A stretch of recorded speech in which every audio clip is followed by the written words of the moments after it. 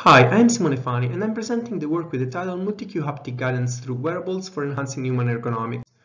The importance of ergonomics enhancement is gaining attention with the deployment of wearable interfaces and robotic technologies in industrial settings and the need for reducing work-related musculoskeletal disorders in human workers. In these environments, wearable haptic modality has emerged as a privileged solution compared to audio devices unsuitable for the noise or visual displays often distracting. An important postural parameter is the center of pressure that influences the balance and the posture maintenance.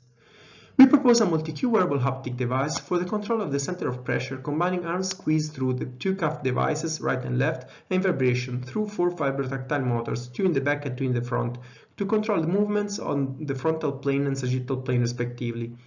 The use of these two cues, differentiated also at the mechanoreceptors level, allow to avoid possible problems that haptic multi-cue delivery can produce. The two cues are modulated to provide the error amplitude, activating only the corrective direction. The error on the sagittal plane was modulated controlling the vibration in an on-off pattern with off periods decreasing with the increase of the error.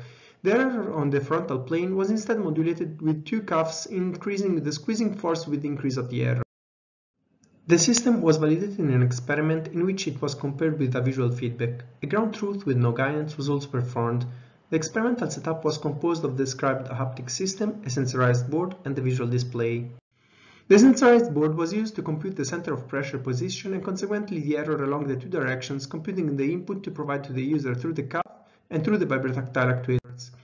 The visual display was used to provide visual cues during the task execution as start and end trials cues and the visual guidance cues when needed.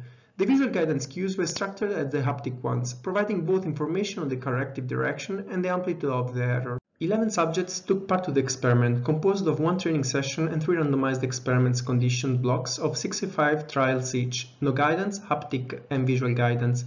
Participants were guided to move their center of pressure in one of the 13 selected locations on the board. Every trial concluded once the 30 seconds time limit was reached, considered as fail, or after 5 continuous seconds on the goal point, considered success. Results shows no statistical difference are present in terms of success rate nor execution time between haptic and visual conditions.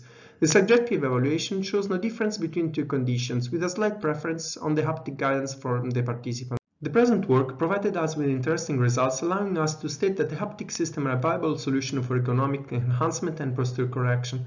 Future plans involve the testing of the system in industrial settings and integration of tangential stimuli. Moreover, a more exhaustive characterization of the system will be performed. I would like to thank you all for following this presentation. If you have any questions, please do not hesitate to contact me at my email simone.fani at inge.unipi.it. Thank you very much.